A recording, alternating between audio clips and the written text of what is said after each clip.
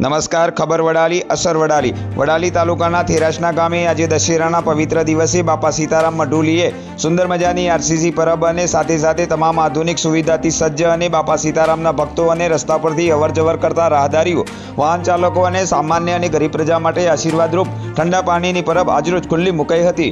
બાપા સીતારામ મઢુલી ખાતે નિર્માણ પામેલ પાણીની પરબના દાતા ગઢવી શામળદાનજી રઘુજી અને તેમના પરિવારના સહયોગથી બનાવવામાં આવી છે. ત્યારે થેરાસના ગામમાં પાટીદારો ગઢવી સમાજ ઠાકોર સમાજ સહિત તમામે તમામ સમાજના લોકો એક સંપ, એક વિચારથી નાત જાતના ભેદભાવ વગર વર્ષોથી સંગઠિત થઈ રહે છે. ત્યારે આજે દશેરાના દિવસે પરબના દાતાશ્રીનું ભૂદેવ દ્વારા તિલક અને ફુલહાર પછી વિધિ વિધાન સાથે પાણીની પરબ ખુલ્લી મુકાઈ હતી. સંપૂર્ણપણે આરસીસીમાં નિર્માણ પામેલ પરબ બાપા સીતારામ મઢુલીના પ્રવેશ દ્વારમાં શોભામાં વધારો કરે છે. ત્યારે આજના ખાસ દિવસે તમામ સમાજના લોકો, ગામના સરપંચ અને બાપા સીતારામ મઢુલી સાથે જોડાયેલ ભક્તો, કાર્યકરો અને નાગરિકો મોટી સંખ્યામાં હાજર રહ્યા હતા.